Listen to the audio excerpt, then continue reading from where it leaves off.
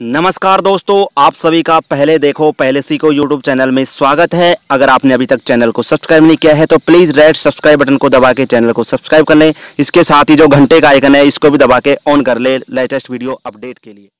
आज इस वीडियो में हम बात करेंगे लॉकडाउन 5.0 को लेके, कहाँ पे छूट और कहाँ पे सख्ती बरती जाएगी, क्योंकि लॉकडाउन 5.0 का ऐलान जो है 31 मई को किया जाएगा। लॉकडाउन 15 जून तक, यानी कि दो सप्ताह बढ़ाने का ऐलान जो है किया जा सकता है। दोस्तों, लॉकडाउन पाँच कैसा रहेगा? इसके अलावा ट्रेन, बसें, स्कूलों को खोलने की परमिशन मिल गई है, क्योंकि दोस्तों, लॉकडाउन 5.0 के तहत पूरे इंडिया में सभी जगह काफ़ी अभी भी अटकलें जो है लगी हुई है, यानी कि काफ़ी जगह सख्ती बरती जाएगी, लेकिन जिन क्षेत्रों में कोरोना का कहर कम है, वहाँ पे छूट दी गई दी गई है।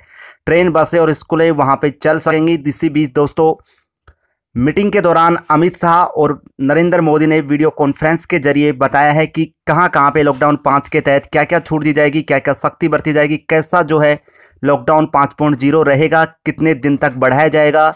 इसके अलावा हम बात करें तो क्या नई गाइडलाइंस जारी की जाएँगी? इसके बारे में इस वीडियो में आज हम आपको बताएँगे, यानी कि संपूर्ण जानकारी लॉकडाउन पाँच को लेके इस वीडियो में आपके लिए लेके आए हैं। तो चले बिना देरी के वीडियो को शुरू करते हैं।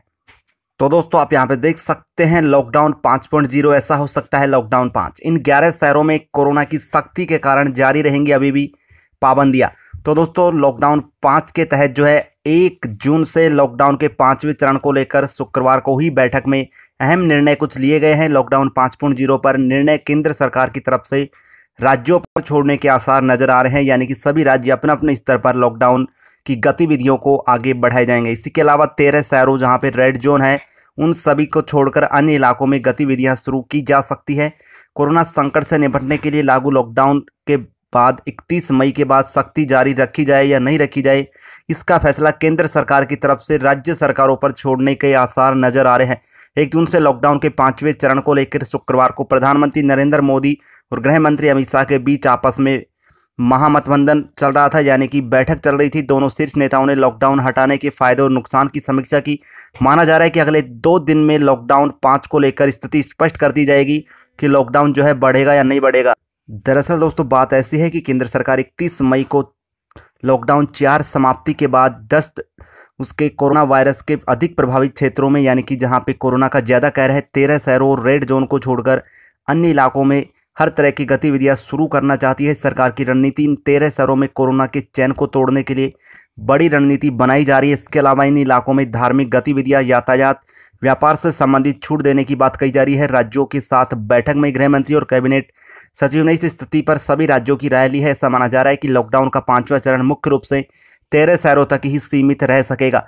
इन ग्यारह शहरों में लॉकडाउन पर पूरी तरीके से सख्ती बरती जाएगी। इन कौन कौन से ग्यारह शहर हैं तो दोस्तों, आपको बता दें, सबसे ज़्यादा प्रभावित तीस में से ग्यारह शहरों में खासतौर पर इस वायरस से निपटने के लिए पूरी तैयारियाँ जो है यहाँ पे अभी भी बरती जाएँगी। यानी कि हम आपको बता दें, इन शहरों में से मुंबई, चेन्नई, दिल्ली अहमदाबाद, थाने, पुणे, हैदराबाद, कोलकाता, हावड़ा, इंदौर, जयपुर, जोधपुर और चेंगलपट्टू के साथ साथ त्रिवेलर भी शामिल किए गए हैं। इन सभी ग्यारह क्षेत्रों में, सभी ग्यारह इलाकों में जो है अभी भी लॉकडाउन पहले की तरह ही पूरी सख्ती के साथ बरता जाएगा।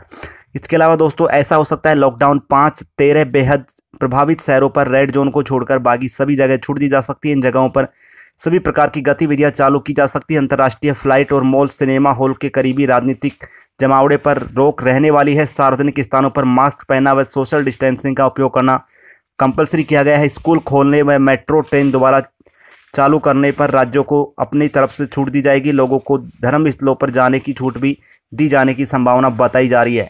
तो दोस्तों, जैसे ही लॉकडाउन पाँच को लेकर इसके अलावा कोई भी बड़ा अपडेट आता है, इसके बारे में हम आपको हमारे चैनल के माध्यम से सबसे पहले अवगत कराएँगे। तो इसी तरीके से सबसे पहले सटीक पुख्ता जानकारी और सबूतों के साथ जानकारी चाहते हैं तो इस वीडियो के नीचे रेड सब्सक्राइब के बटन को दबा के चैनल को सब्सक्राइब करें। इसी के साथ आने वाले वीडियो का नोटिफिकेशन सबसे पहले पाने के लिए पास में बैल या घंटे के निशान को दबा के और नोटिफिकेशन को ऑन करें।